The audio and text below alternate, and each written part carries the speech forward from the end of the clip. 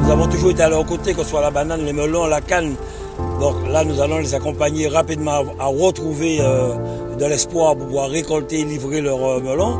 Et par la suite, s'il y a d'autres mesures à prendre, nous les prendrons pour les accompagner comme nous l'avons toujours fait.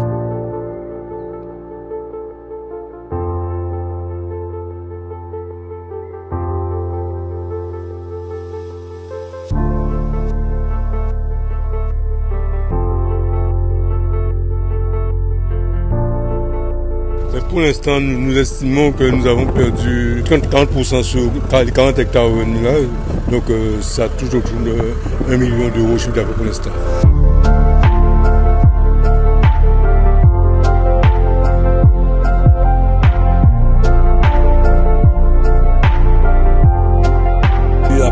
Pour savoir si tout était OK concernant l'ARS et l'ADL. Il m'a dit que tout est OK. Cet après-midi, il y aura des essais. J'espère que dès demain, si Dieu veut, euh, nous pourrons ouvrir les vannes de ce barrage et voir le département pour qu'il puisse poursuivre un peu, euh, pour que l'eau puisse arriver en grande terre pour les agriculteurs.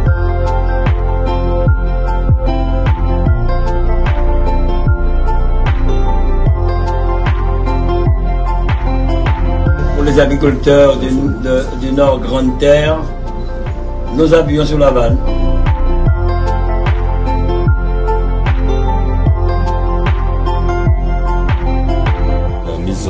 à disposition de ce million de mètres cubes d'eau euh, est une chose importante au moment où on débute la sécheresse et qu'on a vu à travers les images euh, la, souffrance de notre secteur agricole. le président de région qui s'est rendu hier sur le terrain s'en est rendu compte. Il était indispensable que, ce barrage puisse fournir de l'eau euh, au secteur agricole. Une fois que l'eau sort effectivement du barrage de Moreau, elle est raccordée directement à Laval, à quelques, quelques centaines de mètres sur le réseau d'eau agricole du département.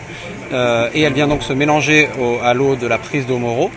Et donc elle vient ensuite desservir l'ensemble du réseau euh, du département, d'eau agricole du département, et donc alimente l'ensemble de la Guadeloupe, euh, notamment bah, jusqu'à jusqu'à Grande-Terre.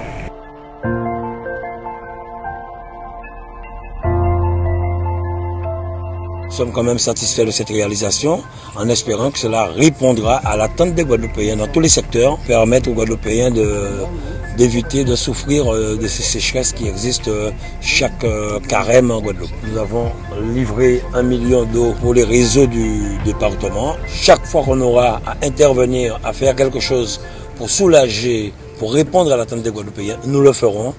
Et si on le fait avec le cœur, je pense qu'on fera beaucoup de choses pour la Guadeloupe. C'est ce qui est important pour moi aujourd'hui.